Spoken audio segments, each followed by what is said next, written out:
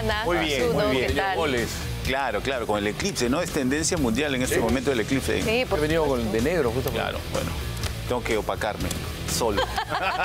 brillas demasiado. Claro, Claro, hay que hacer no. un balance ahí. Vamos con las curiosidades de la fecha. ¿Qué te parece? Bueno, ganó la U, ganó Cristal, ganó Alianza Sí, Lima. Por poco, pero ganó.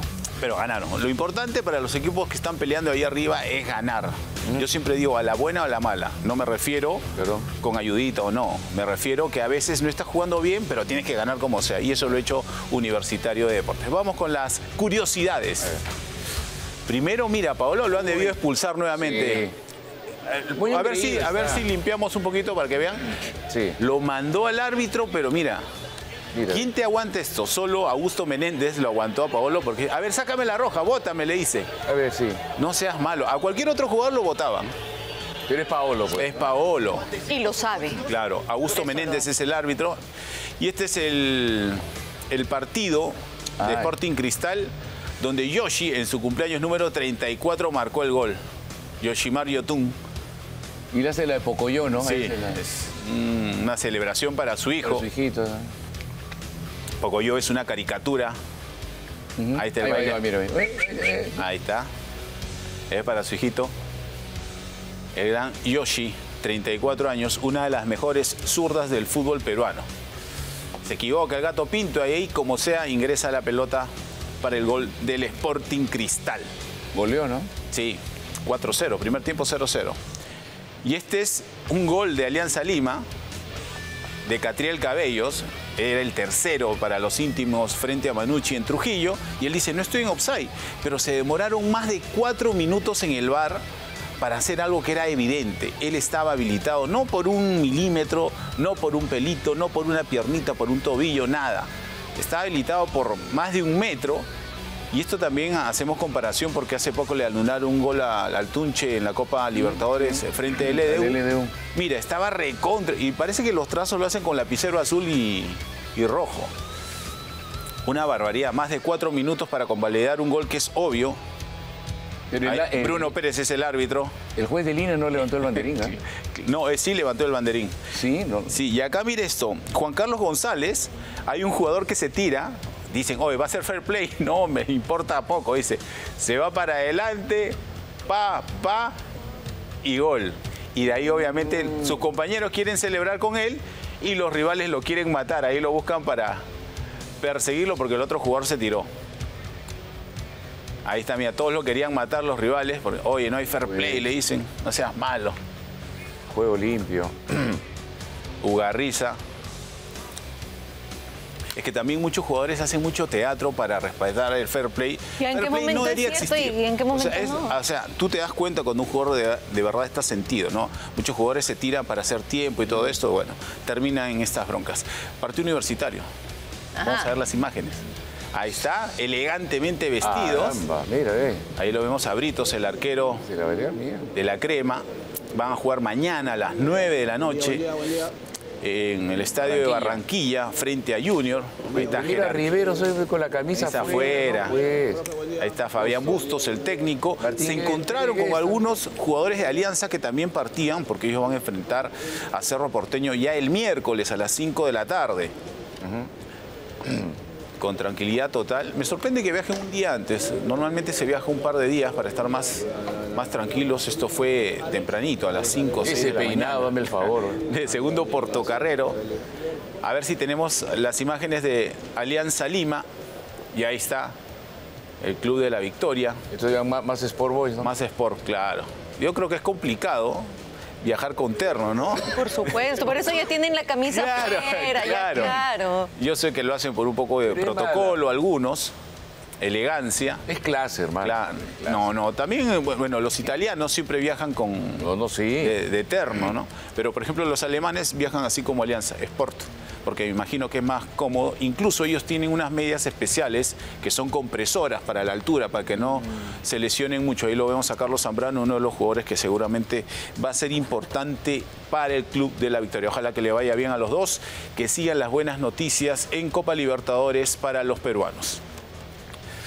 Saben que Advíncula, bueno, es la sensación en Boca. Terminó como capitán otra vez este partido importante que tuvo el fin de semana, pero después al día siguiente, su partido fue el sábado, el domingo, se dedicó a pintar y lo grabaron, mire y con un chor de boca. Ah, pensé que en su casa. Y la verdad que ha sido tendencia en la Argentina. Un día juego al fútbol, al otro te pinto tu casa, puso el Rayo Advíncula es muy querida por los hinchas de Boca y lo que más celebran los hinchas del club Ceneice es que está con un short de Boca Juniors pintando la casa. Bien por Yoshi. Y Brian Reina la rompió, la descoció con Belgrano. Mire esta jugadita frente Unión. Pim, pim. No. no solo tuvo esta jugada, Brian Reina, el ex Alianza Lima, ha tenido muy buenos momentos en el fútbol argentino creo que se va a quedar poco por allá. Ya es pretendido, o seguramente va a ser pretendido por algunos equipos de Europa.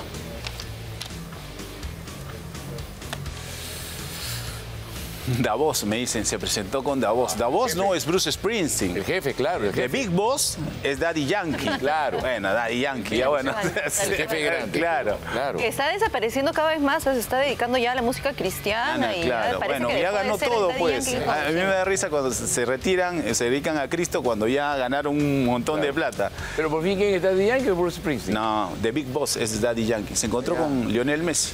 Seguramente el mejor jugador, ahí está, el abrazo. No sé qué ha hecho Daddy Yankee porque parece que ha hecho un pacto con el diablo, está chivolo. Es que tiene una vida muy tranquila y muy sana, la verdad. ¿ah? Claro. Ahí se encuentran las imágenes que han dado la vuelta al mundo en un partido del Inter de Miami. Es hincha, ¿no? Del Inter. ¿eh? Bueno, todos son hinchas del Inter desde que Lionel Messi está jugando en la MLS, ¿no? En ese equipo.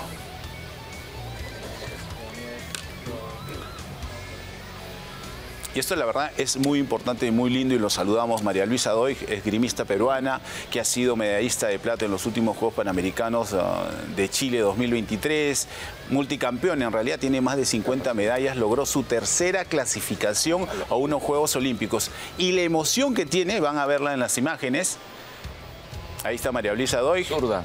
Claro. Es con florete, ¿no? Qué emoción, qué emoción. Terceros Juegos Olímpicos va a ser la deportista número 21. Ahí se te pasa por la cabeza todo, ¿no? El esfuerzo, el tiempo, lo que te ha costado llegar hasta ahí, ¿no? Ese florete. Felicitaciones para él. Claro. Con esta linda imagen nos vamos a tener que despedir. Pero despídete como María Luisa, pues. Así. No, no, saltando. Pues. no, no.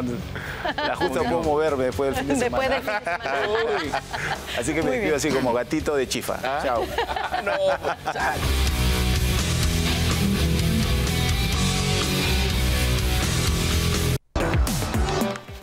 Bueno, Roberto Chale, uno de los símbolos de la ULA, está pasando mal, eh, se encuentra bastante delicado de salud, pero eh, se ha inaugurado un complejo deportivo en su honor, que lleva el nombre del gran Roberto Chale. Esto es en San Martín de Porres. Los hinchas del fútbol peruano jamás olvidarán sus jugadas y sobre todo sus travesuras. Roberto es un, gran luchador, no sabe lo fuerte que es y ahí está. Y nosotros lo cuidamos con todo el cariño, todo el amor que le tenemos. Tres, dos, uno. Fuerte, hija. Muy bien punta de goles, regates y con varias muestras de afecto para su esposa e hijas, se inauguró el complejo Tito Drago y esta cancha profesional de fútbol 7, que lleva el nombre inmortal de Roberto Chal. Por lo tanto, el niño terrible tiene una razón más para sonreír. Lo necesitaba. Por su complicada situación de salud, no pudo asistir. Sin embargo, desde su habitación y a través de Willax, puede apreciar las grandes muestras de afecto de sus pupilos y compañeros del fútbol, como el Puma, no, que los quiero mucho. Siempre, siempre para mí ha sido un padre, mi entrenador y un crack, ¿no? Como persona y, como futbolista. La nueva cancha está ubicada en el malecón Rimac número 3320, a pocas cuadras de la avenida Perú.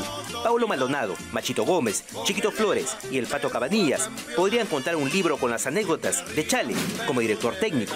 Por ejemplo, Goyo Bernales se atrevió a contar que una vez iban a jugar un partido de 12 contra 11. Estuvimos en Chiclayo, éramos 12. Y el coyote dijo, profe, este, hay 12 futbolistas. Ya sales tú por sapo, le dijo.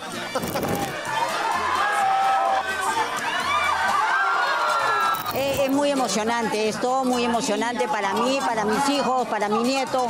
En esta fiesta del fútbol, Lucía Simi, esposa de Roberto, prefirió no ahondar en temas que duelen. Su familia ya comentó a la prensa que Chale no cuenta con una pensión y que el Club Universitario de Deportes no lo ha respaldado de la manera que un histórico lo merece. Imaginan cómo trataba la directiva del Santos de Brasil a Pelé, sin embargo el cariño de la gente es el principal regalo para la familia de Chale. Comentarles que este campo llamado Roberto Chale, maestro, y sobre todo el niño terrible, es un homenaje en vida a él, porque los homenajes se hacen en vida. Cada vez que un pelotero improvise con una tijera, una chalaca o una picante pared, el legado de Chale aparecerá en este campo deportivo. Gracias por las alegrías que nos regalaste con la crema y con la bicolor. Niño terrible. Grande Roberto Chale. Vamos a comentarles ahora que en un mundo donde la tradición se encuentra con la belleza, llega el evento que celebra la verdadera esencia de la mujer Tuzán, Miss Tuzán 2024. Y presta atención porque si tienes entre 18 y 26 años, eres de ascendencia china, tienes apellido chino, estás comprometida con esta cultura hermosa, milenaria, tradicional, pues este evento es para ti, así que contáctate con nosotros. Informe de inscripciones al 980-997-190. O en Facebook de la Asociación Peruano-China. Inscríbete y sé parte de esta gran experiencia. Tienes lo que se necesita para ser la próxima Miss Perú Tuzán 2024. Aquí te esperamos. Vamos con una nota corta pero interesante. Pero bueno, esto sí es terrible, ¿ah? porque nuevamente es una forma de, de racismo y discriminación en el fútbol. El capitán del Chelsea, el equipo inglés, eh, Conor Gallagher, ya estaba listo para enfrentarse al del en su estadio. Y a este niño lo deja con la mano estirada. A este pequeño, que se, mira cómo se acerca, le, ofrece la mano, ni lo, quiere mirar. En cambio, los otros sí. Y ese gesto es un gesto que hay que condenarlo de todas maneras. Ignoró el saludo de este niño y esto provocó indignación entre, bueno, los internautas, eh, entre los mismos este, hinchas de, de su equipo, del, del Chelsea, ¿no? Cuando estamos luchando contra el racismo, contra estos gestos, estas muestras, esto no pasó desapercibido. Así que el capitán solo llegó a ponerle el brazo en la espalda, lo miró muy... Miren ustedes, ni lo mira. Qué barbaridad. Terrible, ¿ah? terrible, mal.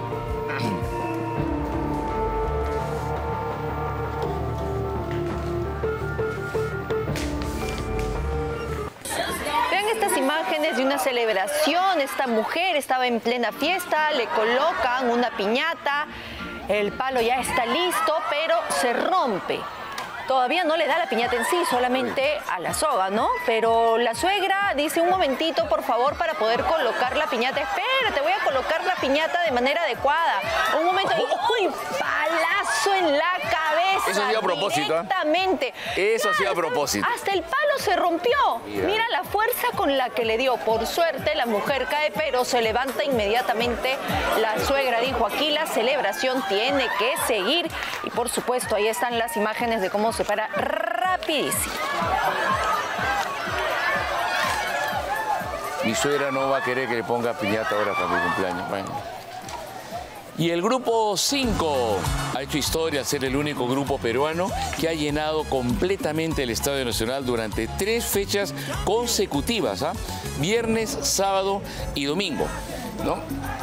El grupo 5 deleitó a su humilde fanático con éxitos como La Valentina, Cambio mi corazón, La Culebrítica que está sonando en todas partes, Motor y Motivo. Tres horas de espectáculo. Muy pronto, Boom Boom Mezclado va a ser lo mismo también. Vamos a llenar Por los estadios. supuesto, porque ya los hemos anunciado Eso, y están por aquí. hay que llenar los estadios. ¿Qué tal, Leo? ¿Cómo estás? Chicos, ¿qué tal? Vamos, muchachos, ¿qué tal? Bien. Boom Mezclado ya Eso. está con nosotros. Está, por supuesto, Leo Herrera, Alison y Alex. ¿Cómo están? Bienvenidos. Gracias a todos por Gracias, estar gracias, aquí. un placer. Realmente. Gracias, Muy gracias bien. por la invitación. Bueno, y ahora nos van a presentar un nuevo tema. ¿De qué se trata? Cuéntanos un poquito, Leo. Este nuevo tema que es interpretado ¿sabes? por Alison Palacio, Enamorado de mí se llama. Es un tema digamos, para los tóxicos, esos hombres que son muy intensos a, la veces, a veces con las parejas. Eh, ¿Pero en qué momento? ¿Siempre o...? Eh, no sé, hay momentos, hay algunos que se demoran un poquito más y no se dan cuenta. Pero, pero a todos nos ha tocado en algún momento con estas experiencias, Alison, tú me vas a decir, nos pasa a todos, a hombres y mujeres. Nos tenemos que equivocar para luego encontrar al verdadero y al real, ¿sí o no? Así, es. Así es. Los celos no tienen género, no tienen género. ¿Y musicalmente cómo es el tema? Describe. Mira, este tema tiene es salsa, tiene conga y tiene reparto. Es un, es un poco más agresivo. El conga es el ritmo que uno baila así, ta, ta, ta, explosivo. ta, ta, ¿no? Ta, ta, ta, ta, ta, ta, Eso, es de la conga. Bueno, y además dar interpretaciones eh, que tienen siempre fusiones. Eso es lo importante, crees ahora en la música, siempre actualizarse, ¿verdad? Claro, para actualizar, para actualizar la música, la salsa, el reparto, que está de moda hoy en día también, ¿no? Reparto. Todo, todo, la Y- conga. Y, además cantar algunas letras que también nos generen algo, no solamente que nos lleven al ritmo, sino que nos den algún mensaje. Es Ese es otro tema. ¿Es. Sí, Claro claro. que sí. ¿Quién hace las letras? Leo Herrera. Leo, entonces esto, música y letra. En esta ocasión sí. Ahí está. Ya, Entonces bueno. vamos a escuchar de qué se ¿Ya? trata, ¿te parece? Como la conga. Bien. Pam, Vamos allá. pam, pam, pam. Se quedan con ustedes, pam,